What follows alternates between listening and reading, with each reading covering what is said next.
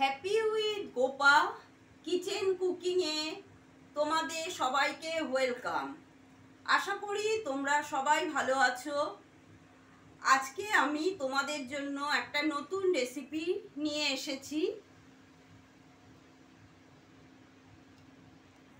Hariyali green chicken চলো এবার শুরু করা যাক। প্রথমে গ্যাসটা জ্বালিয়েছি। এর মধ্যে আমি জলটা বসিয়ে দিলাম। হারিয়ালি চিকেন, পালং শাক তো লাগবেই। আমি এই জলটার মধ্যে এবার পালং শাকগুলো দিয়ে দিচ্ছি। পালং শাকটা হালকা মতন মানে শাকের একটু গন্ধটা যাতে চলে যায়, হালকা মতন সিদ্ধ করে নেব। পালং শাকটা ওইদিকে সিদ্ধ করতে দিয়ে দিয়েছি। এবার এইদিকে আমি চিকেনটা ম্যারিনেট করতে নিই। ম্যারিনেট করতে আমার কিছুটা একটু দেব আগে, লেবুর রস, পাতি লেবুর রস দিয়ে নিই একটু।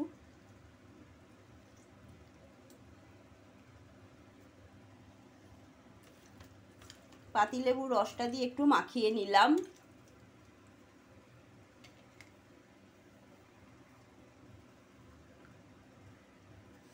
এবারে এর মধ্যে দিয়ে দিচ্ছি রসুন পেস্ট।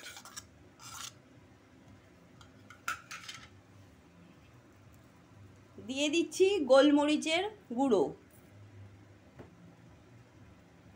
দিয়ে দেবো স্বাদ মতো নুন।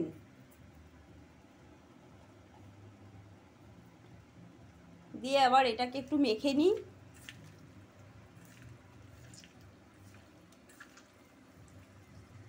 এবারে এর মধ্যে কর্নফ্লাওয়ার দিচ্ছি।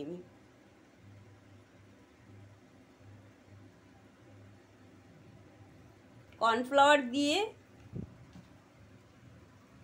মেখে রাখব।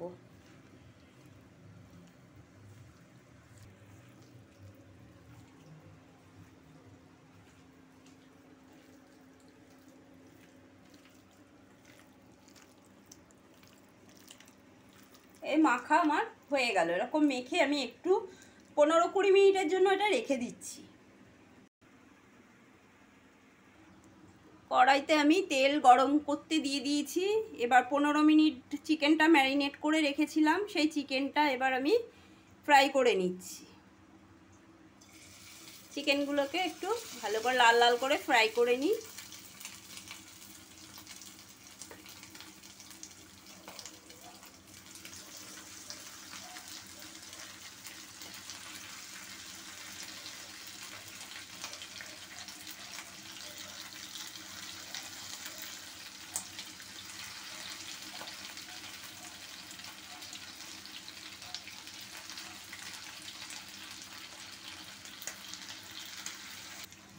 চিকেনগুলো ফ্রাই হচ্ছে।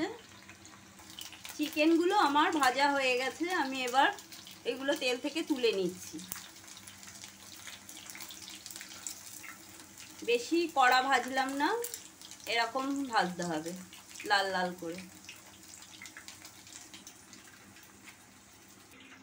পালং শাকটা আমার সিদ্ধ হয়ে গেছে। এবার এই পালং শাকটাকে আমি একটু পেস্ট করে নেব। পালং শাকটা দিয়ে দিলাম।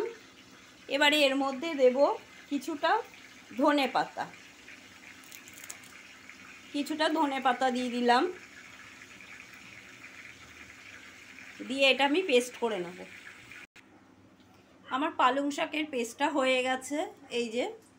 এবার আমি কড়াইয়ে চিকেনটা ফ্রাই করেছি, সেই তেলের মধ্যেই আমি পেঁয়াজটা ভেজে নেব। পেঁয়াজটা ভেজে পেঁয়াজটা আবার একটু পেস্ট করে নিতে হবে। পেঁয়াজটা আগে ভেজে নিই।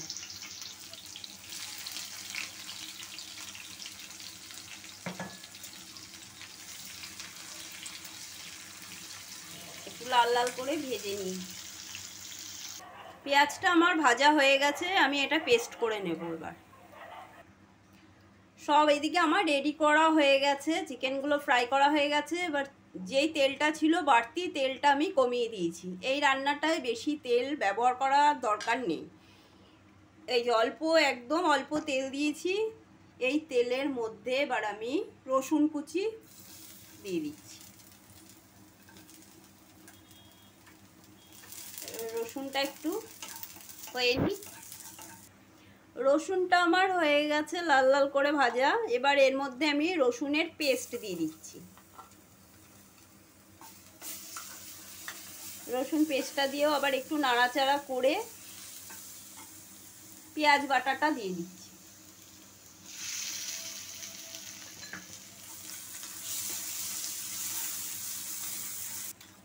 এবারে দিয়ে দেবো কাঁচা লঙ্কা বাটা। কাঁচা লঙ্কা বাটাটাও দিয়ে দিলাম। এবারে আমি পালং শাকের পালং শাক আর ধনে পাতার পেস্টটা এর মধ্যে দিয়ে দেব।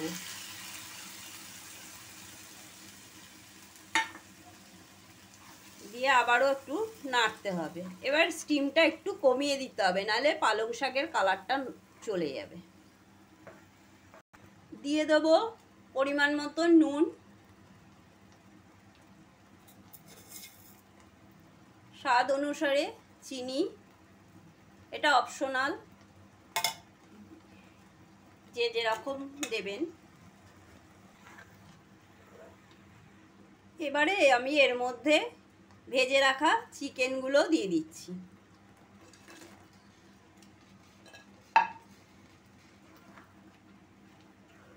দিয়ে আবার চিকেনগুলো শাকের সঙ্গে মিশিয়ে নিতে হবে। দিয়ে আবার একটু ঢেকে দেবো এবারে।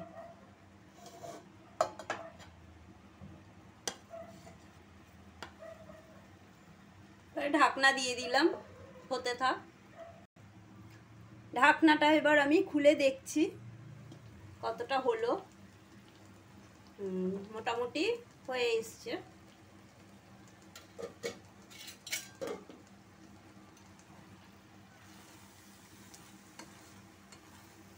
আর একটু এই জলটা আর একটু মরবে। আমার হয়ে গেছে এটা, এবারে এর মধ্যে আমি একটু ঘি অ্যাড করছি। চাইলে বাটারও দিতে পারেন।